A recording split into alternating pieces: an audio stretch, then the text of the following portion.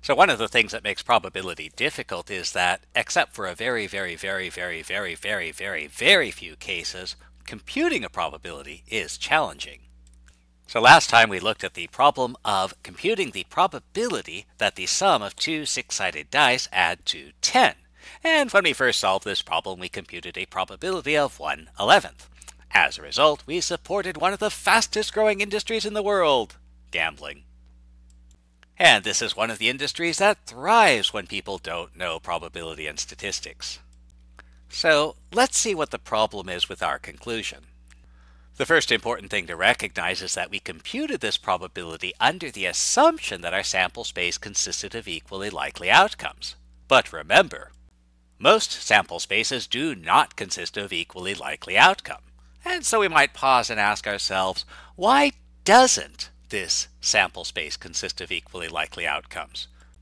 Well, let's think about that.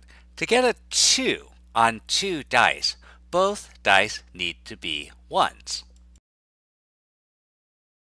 On the other hand, I can get a 5 by having one die show a 1 and the other a 4, or one die showing a 2 and the other a 3. And what that means is that some of these numbers, like 5 or 7 or 9, can be obtained in many different ways, while others, like 2 or 12, can only be obtained by one very specific roll of the dice. And so that means our sample space does not consist of equally likely outcomes. And this leads to the following problem. We can compute probabilities if we have a sample space of equally likely outcomes. And so this leads to the following problem. Given a random experiment, find a sample space of equally likely outcomes. And you might wonder how this is possible because aren't the outcomes the possible results of the random experiment? And the answer is yes, but we might be able to describe those results in different ways. So let's analyze our problem. Suppose you roll the dice one at a time. Now the first die can land 1, 2, 3, 4, 5, or 6, and it seems that these are all equally likely outcomes. Certainly, if one of these came up more often than the other, you'd have a die that was considered loaded, and people would be very upset with you if you should play with it. By the same argument, that second die can also land 1, 2, 3, 4, 5, or 6, and these also seem to be equally likely outcomes. This suggests our sample space might consist of the ordered pairs x, y, where x is the number shown on the first die and y is the number shown on the second die.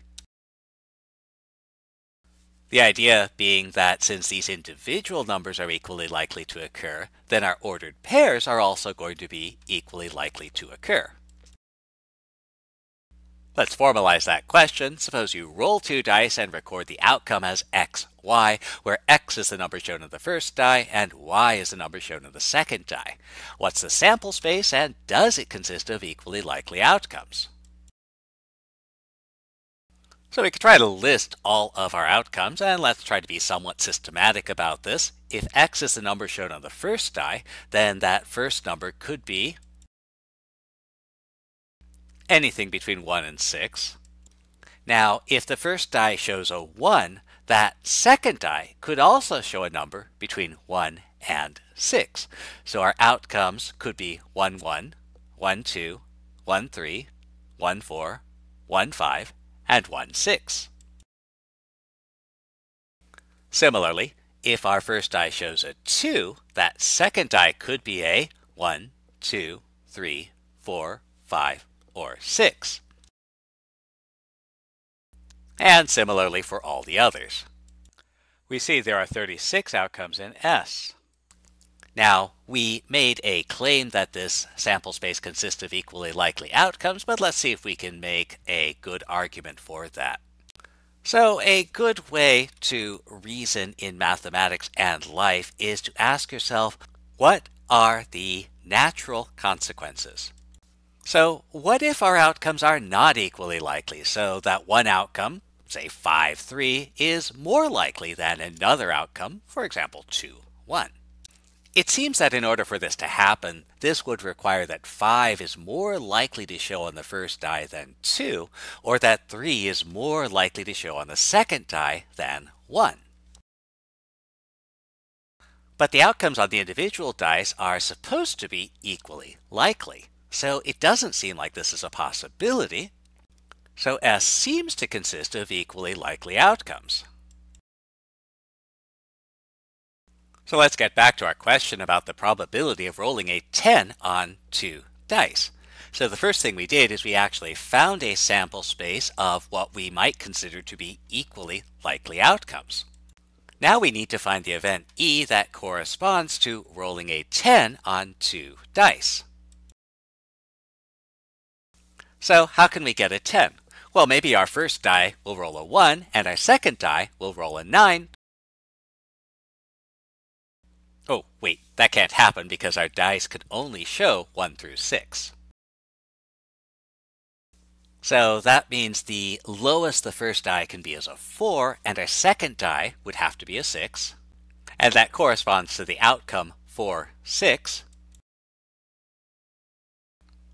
Our first die might be a 5, and the second die could also be a 5.